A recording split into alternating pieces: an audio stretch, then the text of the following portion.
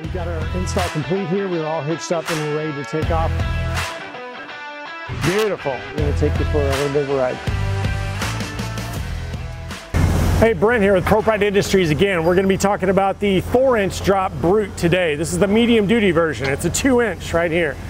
Uh, with this guy, we've got a large gusset that runs the entire length just about on this guy. So that's some major integrity right there.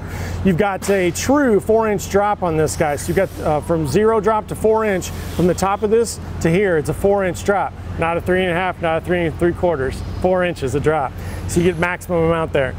We've also got uh, dual pins holding this guy in for, for major integrity as well on this guy.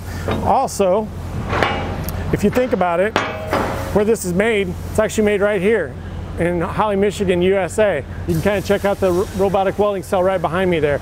We do it every single day for you. You may not even be able to get these from a competitor because quite honestly, they're in China still. So anyhow, great to see you. There you go.